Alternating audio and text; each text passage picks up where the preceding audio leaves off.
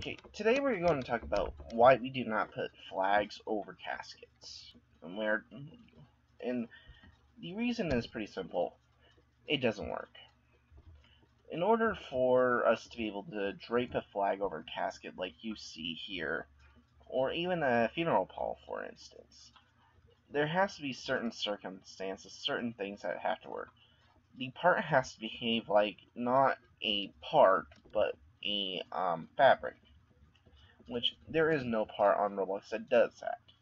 Second of all, to just plop a, a decal on top of the lid would not work because a lot of times the lids are split in half and so it'd only cover one half of the casket and it wouldn't look like it was folded it would look like someone just took a scrunched up poorly done flag and put it over half the casket it would not look good. And then a lot of times with how Roblox does meshing, when it comes to the um, unions, multiple surfaces will be in multiple areas, and so it's just it just wouldn't look good.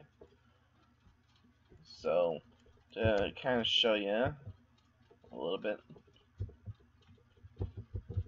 let me uh, show it with uh, an actual casket. So this is a general what a pall would look like. We do do them sometimes, very rarely. And um, so if we were to just drag a cat flag over it like this, it would look like this. Surfaces would not match up.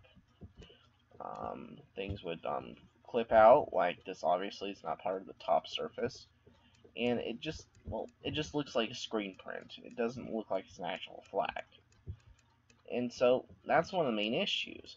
Now, if it was like a simple tricolor flag, something, you know, simple striped flag, you can get that done, just union the casket. But for the sake of an American flag, a British Union Jack, anything like that, you'd have an easier time just using a flag case like we do, where we just set it in the lid, in a little decorative box or next to the casket looks way better, a little bit more respectful, and it doesn't look as tacky as this. So that's mainly why. If you have any questions, um, feel free to shoot them to me. I may or may not be able to answer them. Thank you, and have a nice day.